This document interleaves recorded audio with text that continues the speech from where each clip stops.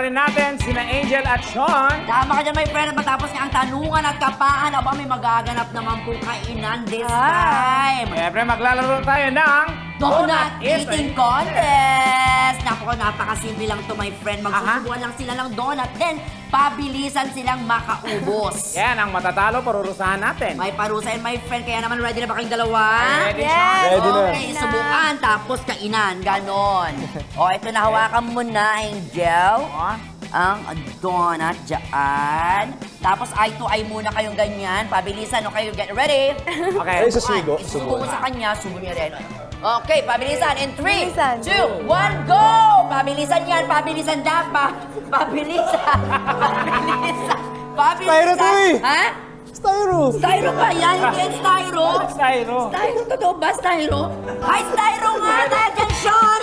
Natibas ka! Grabe naman yun. Anong lasa, friend? Sabi ko, bakit ang tigas? Pero pinakain niya pa rin ah. Pero kinakain Pero ko matamis siya. until now, kaya okay lang po yun. Mukhang safe naman ang styro, my friend. Oo. Gusto mo try mo din? Try mo, friend.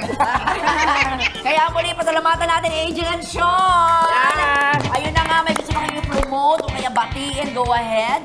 Abangan niyo po ako mga kapuso sa parating na soap na Forever Young. And syempre po, um, i-follow niyo po ako sa social media ko, TikTok, Instagram, and Facebook account. Ayun, Angel Layton. Oh! Ano ba, Sean?